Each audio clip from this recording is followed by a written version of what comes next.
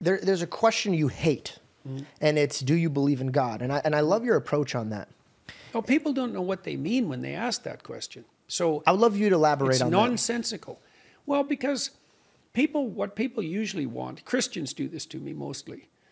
What they really want is they want me to validate their theory of belief.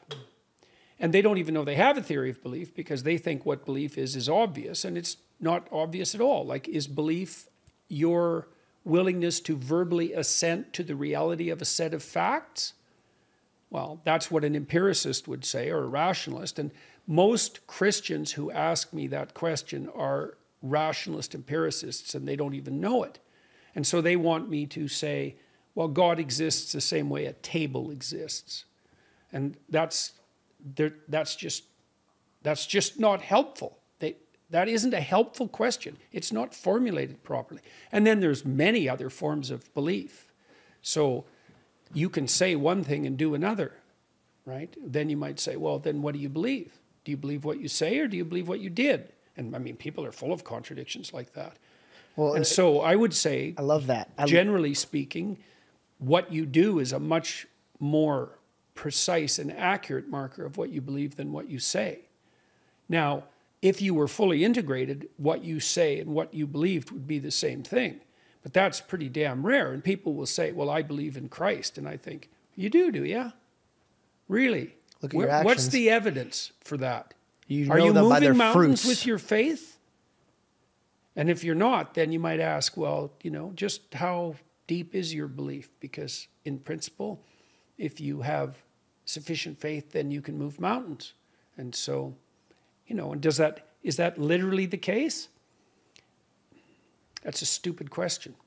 So, he spoke in parables, so if you knew him, you knew what he was saying. I, well, uh, we move mountains all the time. We use like earth moving equipment to move mountains. We can move mountains, but that and so and to some degree that's a manifestation of faith if you if you untangle it sufficiently. But you, you, when you read the biblical texts, for example, there's part of what you need to bring to bear on the stories is a bit of imagination.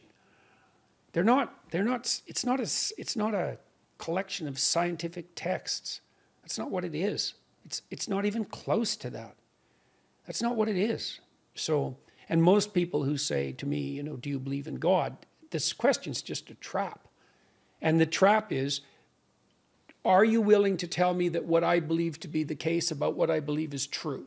It's like, no, because we're not coming at the question from the same perspective. So, and then people are irritated at me because they say, well, you can't question what the person means to believe. And it's, well, that's what they're doing to me. So I, see absolutely no reason why turnabout isn't fair play. Do you believe in God? Do you believe in your belief? What exactly do you mean? And you're going to ask a question that there isn't a deeper question than that. That is the most intrusive possible question. And what are you just supposed to? That's just something casual? It's not casual, not in the least. do you love Christ with all of your heart? Probably not. That's a hard stunt to pull off. And it's a hell of a demand. Do you love your daughter with all of your heart? Same question, probably, same objection probably applies. Like, you know, none of us are unblemished vessels. So, no. Does that mean I'm not trying to?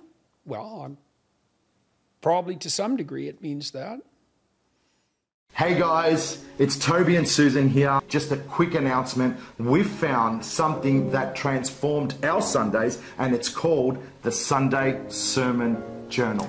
That's right, no more scattered notes. This journal turns your Sunday reflections into a purposeful journey of growth. That's right. Imagine having all your sermon notes in one place, neatly organized, no more lost thoughts.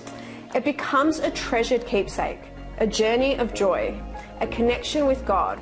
Order yours at SundaySermonJournal.com.